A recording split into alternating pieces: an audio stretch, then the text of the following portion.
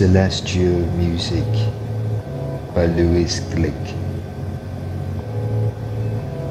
I have a friend who still believes in heaven.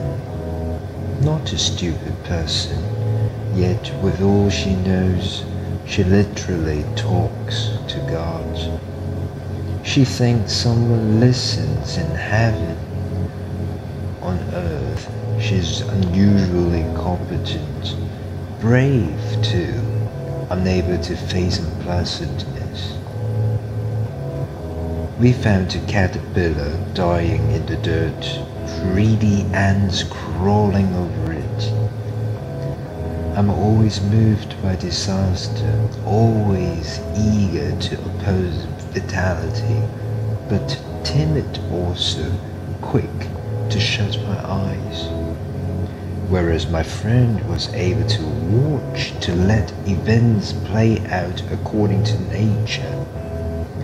For my sake, she intervened, brushing a few ants off the torn thing and set it down across the road. My friend says I shut my eyes to God, and that nothing else explains my aversion to reality. She says I'm like the child who buries her head in the pillow so as not to see the child who tells herself that light causes sadness. My friend is like the mother, patient, urging me to wake up an adult like herself, a courageous person. In my dreams, my friend reproaches me. We are walking on the same road, except it's winter now. She's telling me that when you love the world, you hear celestial music. Look up, she says. When I look up, nothing. Only clouds, snow, a white business in the trees like brides leaping to a great height.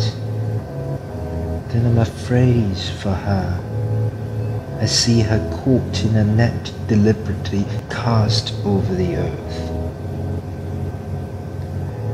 In reality, we sit by the side of the road watching the sunset.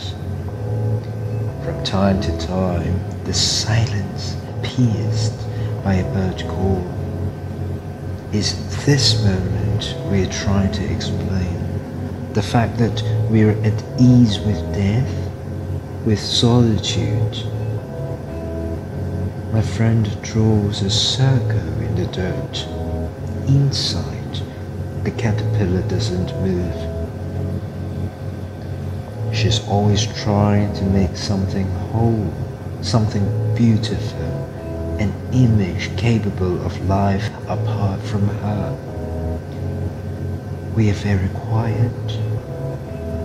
It's peaceful sitting here, not speaking. The composition fixed, the road turning suddenly dark, the air going cool. Here and there, the rocks shining and glittering.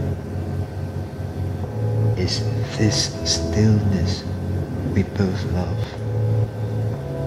The love of form is a love of endings.